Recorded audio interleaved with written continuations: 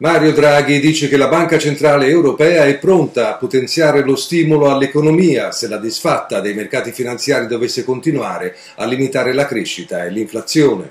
La riunione della Banca Centrale Europea la conferenza stampa del presidente Mario Draghi di settembre 2015 in questo video con Fausto Panunzi, professore di economia politica dell'Università Boccone in collegamento internet da Milano. Ciao Fausto, bentornato ragazzi. Grazie Luciano. Possiamo iniziare questo video dicendo che la conferenza stampa di settembre è stata la meno ottimistica tra quelle fatte dopo l'annuncio del quantitative easing. Draghi dice che le previsioni della Banca Centrale per la crescita e l'inflazione vengono riviste ancora a ribasso e poi cerca di tranquillizzare.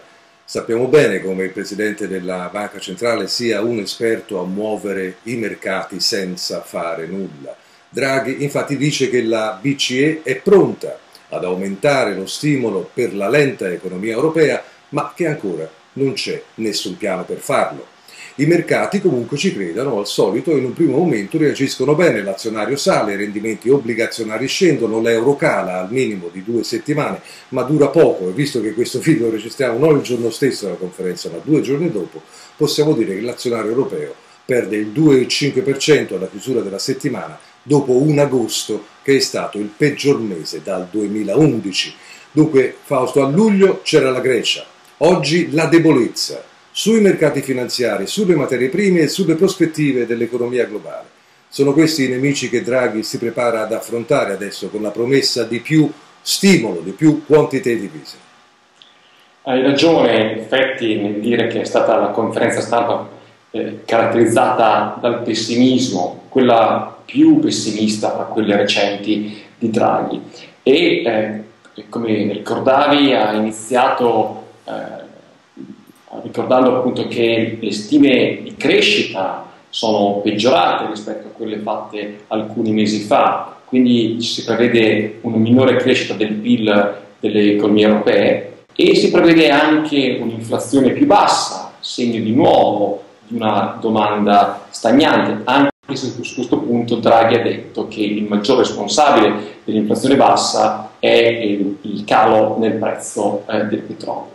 L'altro fattore ricordato da Draghi nella sua conferenza stampa sono le fluttuazioni sui mercati finanziari e anche su quello delle materie prime e tutti quanti sappiamo quello che c'è stato appunto sul mercato finanziario cinese in ultime settimane, anche se, questo va ricordato, Draghi ha ulteriormente precisato che le stime sono state riviste al ribasso il 12 agosto, quindi prima che si manifestasse tutto quanto la turbolenza eh, dei mercati finanziari, eh, in particolare quello eh, cinese. E quindi certamente una eh, conferenza stampa ispirata al pessimismo e eh, Draghi ha detto, ha tenuto a rassicurare in qualche modo i mercati eh, dicendo che la Banca Centrale Europea è pronta ad affrontare un quadro peggiorato e ha detto che la Banca Centrale Europea è disposto a, a cambiare la durata, la composizione e eh, il, la dimensione del programma di quantitative easing.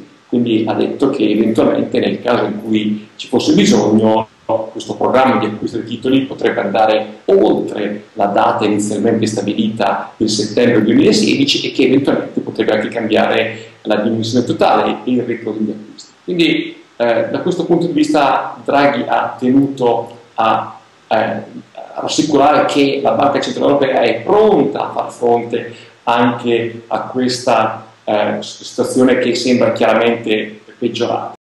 La debolezza sui mercati finanziari, sulle materie prime, sulle prospettive dell'economia globale dipende in gran parte dal grado di severità del rallentamento dell'economia cinese. Draghi dice che aspetta di avere una migliore visibilità sulla Cina.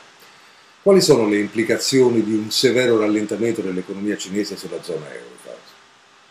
Beh, ci sono vari eh, canali che eh, sono ovvi. Il primo è chiaro, una minore domanda eh, della Cina vuol dire una minore domanda eh, per i paesi europei, quindi un, un minori esportazioni verso la Cina o altri paesi emergenti e questo ovviamente colpisce ulteriormente eh, le esportazioni eh, europee e quindi dà un contributo al rallentamento dell'economia europea. E c'è poi naturalmente l'altro aspetto che riguarda il contagio dei mercati finanziari.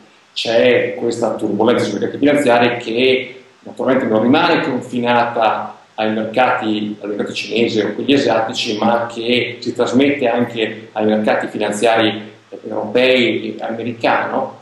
Questo di nuovo eh, crea eh, dei problemi. Draghi ha detto eh, chiaramente che se la turbolenza andrà avanti in questo modo ci, saranno, ci sarà un cambiamento anche dell'avversione al rischio degli investitori. Quindi questo si rifletterà anche sui prezzi eh, delle, dei titoli e quindi naturalmente sulla ricchezza eh, degli investitori. Quindi ci sono vari canali per i quali il rallentamento eh, della Cina, eh, il turbolenza dei cinesi si rispettano su, sulle nostre, che sono sia i canali reali, quindi attraverso le esportazioni delle merci, che canali finanziari che appunto riguardano eh, i mercati finanziari. Eh, Draghi è stato cauto su questo, non ha eh, detto chiaramente se pensa che sia una turbolenza di breve periodo o di lungo periodo.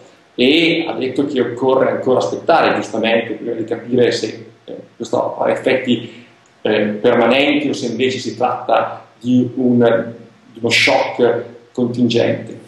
E però è anche in qualche modo eh, diciamo, fatto trapelare una certa insoddisfazione per le manovre sul cambio, eh, quindi per la svalutazione che c'è stata eh, del yuan, eh, perché in qualche modo non concordata e diciamo, questo gioco delle svalutazioni è qualcosa che sostanzialmente serve a scaricare i rallentamenti dell'economia globale sugli altri salvando se stessi, ma ovviamente è un gioco che tutti quanti eh, adottano le, stesse strategie rischia di non beneficiare nessuno.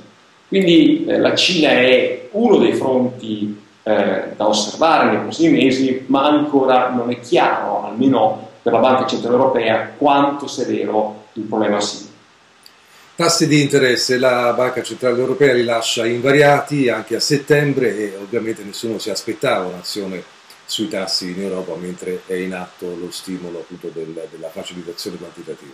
Le preoccupazioni invece riguardano casomai la Federal Reserve americana, la Banca Centrale Americana, che ha iniziato a preparare i mercati a un rialzo dei tassi da tempo, ma che adesso forse potrebbe a sua volta guardare agli sviluppi in Cina ed aspettare ancora ad aumentare il costo del denaro, Fausto.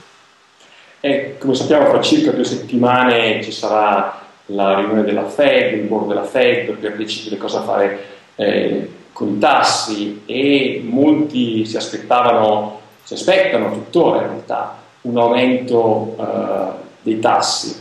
E diciamo, la ragione principale è che l'economia americana mostra segni di crescita chiari, eh, le ultime stime sulla pista del PIL erano soddisfacenti, eh, tassi, il tasso di disoccupazione è caduto al 5,1%, una, una cifra che noi in Europa sogniamo occhi aperti, e quindi sembrava che ci fossero tutte quante le condizioni per un aumento, per iniziare la fase di aumento dei tassi.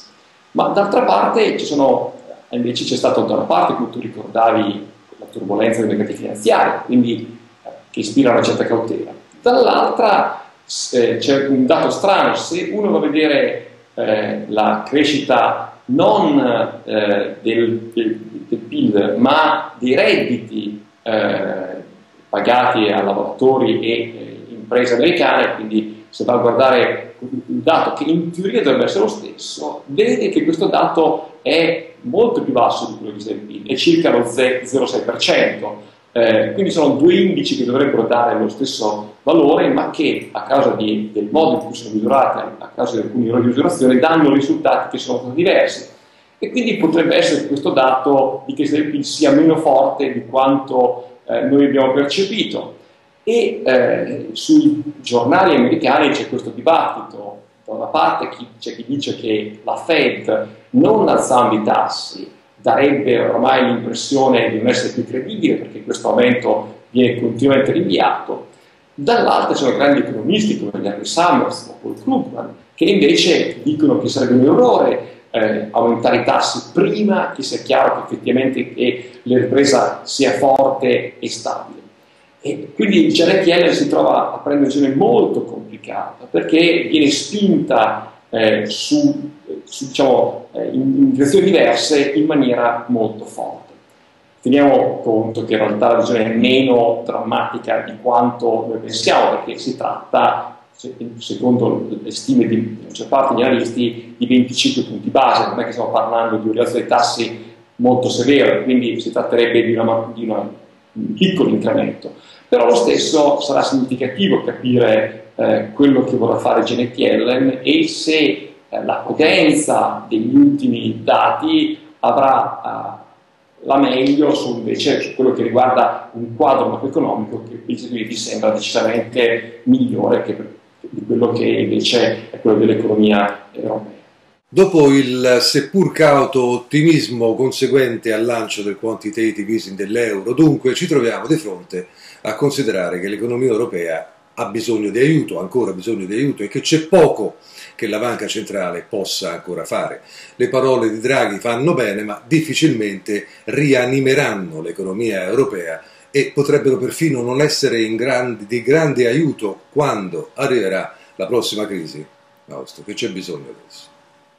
Ma eh, Draghi è stato molto esplicito ieri nel eh, richiamare i governi alle proprie responsabilità. Ha ricordato eh, ancora una volta, come fa sempre in conferenza stampa, il bisogno di riforme strutturali, citando esplicitamente il mercato del lavoro e il mercato del prodotto e d'altra parte ha anche ricordato come ci sia bisogno eh, anche di un'azione di bilancio, quindi della politica fiscale. E anzi su questo è stato molto interessante perché Draghi nella conferenza stampa a una domanda fatta da uno dei gesti in platea ha detto che la politica fiscale dovrebbe in qualche modo ispirarsi alla politica monetaria, più precisamente dovrebbe passare da un meccanismo basato su delle regole, su dei parametri, a un meccanismo basato sulle istituzioni. Draghi ha detto nella Banca Centrale Europea abbiamo condiviso istituzioni e abbiamo condiviso la sovranità, cioè abbiamo accettato che ci sia un organismo al quale siedono tutti quanti i vari paesi, le, varie centri, le banche centrali dei vari paesi, ma nella quale si prendono decisioni poi a maggioranza, c'è un responsabile, c'è un board che decide e quello è appunto un modo che, è una funzione che vincola tutti quanti. Draghi ha detto che quello dovrebbe essere un modo, un modello eh, da seguire anche, ovviamente adattandola alle esigenze diverse, anche per quello che riguarda le politiche di bilancio. In altre parole, ha richiamato all'esigenza che ci sia un uh, meccanismo uh, europeo, visione europea per quello che riguarda anche le politiche di bilancio. Non so quanto saranno accolte le parole di Draghi favorevolmente dai vari governi, sappiamo bene quanto i governi sono, nazionali sono gelosi delle loro prerogative in materia eh, di bilancio e quindi non so dire eh, se effettivamente il modello della Banca Centrale Europea sia effettivamente anche esportabile eh, a quello che riguarda la politica fiscale. A me sembra poter dire che eh, vedendo anche il comportamento dei paesi europei di fronte alla crisi dell'immigrazione, le parole di Draghi non verranno accolte tanto facilmente. L'economia europea dunque ha bisogno di azioni, non di parole. E un'altra cosa, abbiamo notato per la prima volta il problema dei migranti entrare dentro il dibattito della Banca Centrale Europea. Ovviamente la BCE non è che eh, possa dire gran cose, però per dire il dibattito è entrato e Draghi ha dato la sua solidarietà al problema. Questo per sottolineare che è un problema enorme che ci sta arrivando addosso e che dovremo affrontare nei prossimi anni. Grazie mille a Fausto Panunzi, professore di economia politica dell'Università Bocconi da Milano e a voi per averci seguito. Arrivederci alla prossima. Arrivederci.